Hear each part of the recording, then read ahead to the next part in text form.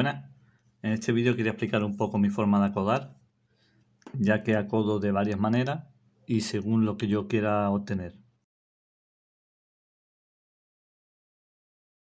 Supongamos que tenemos esta rama, ¿vale? Y la queremos acodar.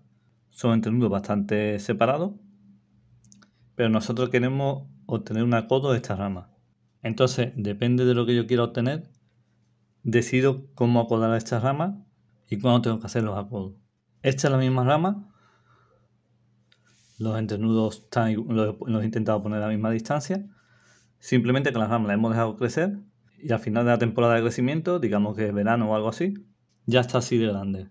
Bueno, pues yo, por ejemplo, en esta temporada en la que ha crecido todo esto, en esta temporada eh, sé que esta rama la quiero acodar, pero no la acodo, simplemente la dejo que crezca. ¿Por qué? Porque esta temporada eh, todo lo que yo lo deje en la planta madre va a engordar mucho más rápido que si yo cojo, hago la codo y la separo. Entonces lo que aprovecho es este crecimiento lo he ganado en que ha cogido un poco más de, de grosor y aparte no solamente tenía yo este acodo en la cabeza, sino que tenía el acodo que voy a hacer también después. Yo acodo esta rama pensando en que aquí será donde voy a tener las raíces y me voy a quedar con este árbol que haré como siempre en el futuro eh, será un árbol más grueso entonces estaré buscando más altura iré sustituyendo ápices dejando ramas de sacrificio e intentaré formar un árbol que tenga más altura en la que yo tenga las ramas más equilibradas con el entrenudo. Si yo este árbol lo tengo más alto, ya este entrenudo no parece que tenga un largo muy excesivo y a lo mejor de aquí estoy dispuesto a sacar la primera rama. Y después tengo este tramo. Este tramo de crecimiento cuando se va acercando, eh, digamos, el parón del árbol durante el verano, al tener todo este recorrido, cuando va llegando a la parte final va haciendo los entrenudos mucho más cortos hasta el punto que muchas veces la punta los entrenudos están casi pegados.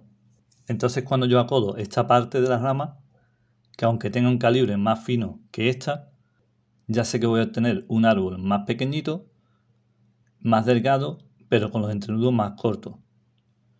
Entonces imaginemos que yo quiero la raíz aquí, saco este arbolito y son como mis árboles más pequeños que tienen todos los entrenudos, eh, digamos, juntos.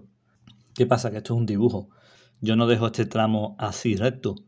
Ya sabéis que yo normalmente en mis ramas, siempre que las alambro, les doy movimiento. Pienso en el futuro y pienso en si el día de mañana quiero acodar algo, pues ya tengo un movimiento. Entonces a lo mejor todos los entrenudos cortos los tengo a partir de aquí. Están todos continuos.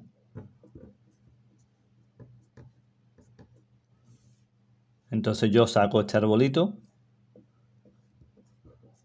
digamos es este, pero con movimiento, y ya tengo mi arbolito con ese movimiento dado, y ya simplemente, dependiendo del calibre que yo tenga aquí, lo dejo crecer más, hago sustituciones de ápice, y así termino de crear la conicidad. Dado que este grosor que tengo aquí no es mucho, me permite hacer las sustituciones de ápice y crear la conicidad mucho antes. Como el tamaño del arbolito que estoy buscando tampoco es excesivamente grande, pues en pocos años tengo un arbolito con movimiento, con entrenudos cortos y de mi gusto. ¿Cuántos acodos se pueden hacer por rama? Yo normalmente siempre hago dos. Hago uno y otro más arriba.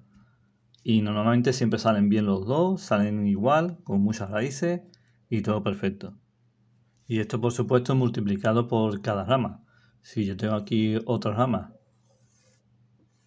y aquí tengo, no sé, en la parte más baja tengo otra rama también, por supuesto puedo hacer otros dos. Puedo hacer uno aquí, otro aquí. Puedo hacer uno aquí, otro aquí. Y esta es la explicación que os quería enseñar.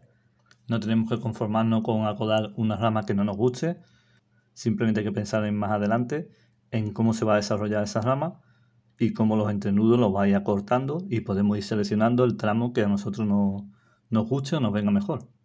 Y nada, deciros como siempre que espero que os haya gustado el vídeo. Muchas gracias y un saludo.